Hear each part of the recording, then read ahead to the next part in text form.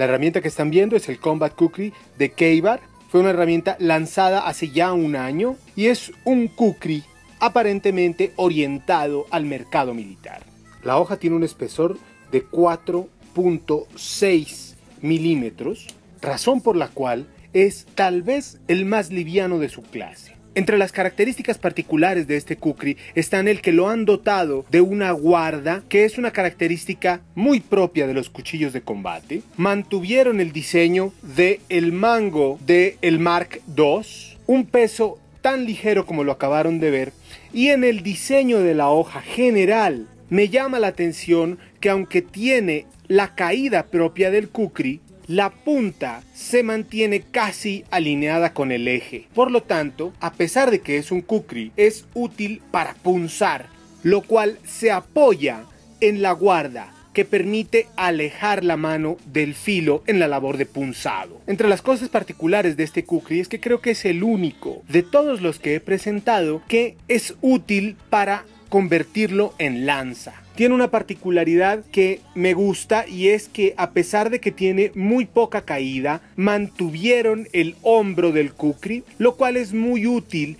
para batonear y utilizarlo para las labores más tradicionales en el camping. Aunque las técnicas de combate de los gurkas advocan el poner solo un golpe en la cabeza del oponente y seguir adelante, las técnicas de combate modernas proponen utilizar el kukri como un cuchillo cortando y no trozando, simplemente por la velocidad de la herramienta, cosa que este kukri puede hacer con muchísima versatilidad debido a que la superficie de contacto con el objetivo es curvada en el filo, lo que lo hace perfecto para cortar. A diferencia de la mayoría de kukris que he presentado, la funda con la que viene el kukri de combate de Keibar es bastante respetable. Tiene una superficie de mole para utilizarlo en una plataforma, es rígida y tiene un inserto rígido en el interior para preservar la integridad estética del cuchillo. Por supuesto, es una funda colgante y que agarra con relativa seguridad el cuchillo.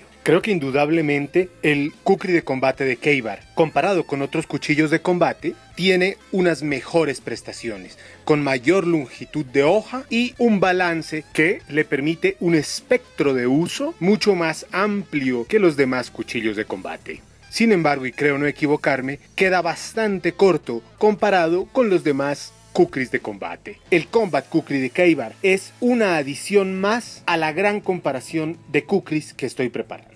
Muchas gracias.